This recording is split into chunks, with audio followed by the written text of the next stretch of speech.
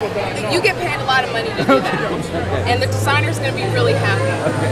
Um, here's the thing: I never remember because I'm not a label girl. I just buy what I like, and I don't really work with a stylist. Sometimes I wish I did, just because it would take the pressure off.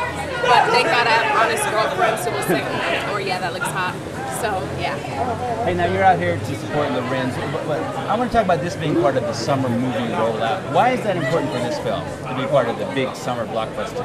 Oh God, it's just a time where people are out of school. You're taking vacations. People take their, you know, you get your your, your week vacation if you have a, like most people, a regular job.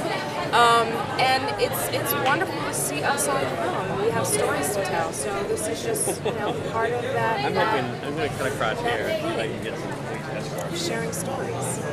What is Larenz like uh, offset? Sweetheart. Sweet, sweet. He would kill me if I said sweet. He's a manly man. Um, no, Larenz is charming. He's smart. He's a gentleman.